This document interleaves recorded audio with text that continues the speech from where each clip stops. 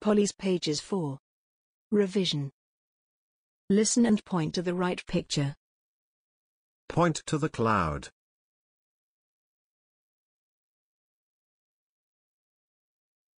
Point to the pencil case.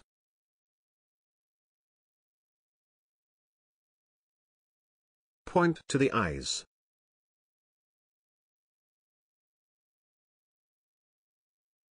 Point to the clothes.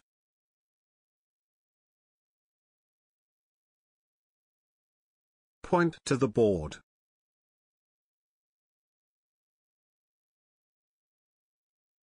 Point to the desk.